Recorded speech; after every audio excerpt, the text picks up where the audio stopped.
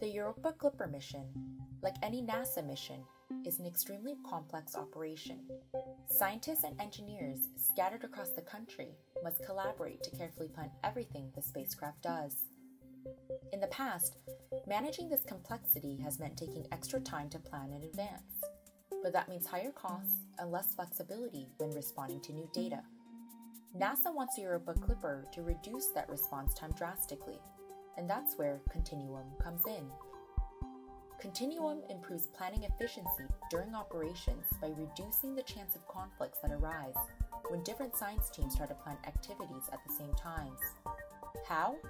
Let's take a look at how Emma, a scientist on Clipper's camera team, makes use of Continuum. While looking at recent data just downlink from the spacecraft, she notices something surprising on the surface of Europa and wants to capture it. Continuum helps her find potential times during which she can capture that data. But in order to get the best data, Emma might have to make changes to the plan that take power, data storage, and time away from other teams.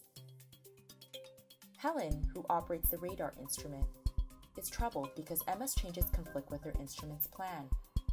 Typically, she would meet with other scientists to negotiate who gets to use that time. So, to try to avoid that, Helen uses Continuum to see how she might work around the problem. Continuum provides suggestions on how Helen can reschedule without losing too much data. Now, both Emma and Helen's science teams can collect the data they need.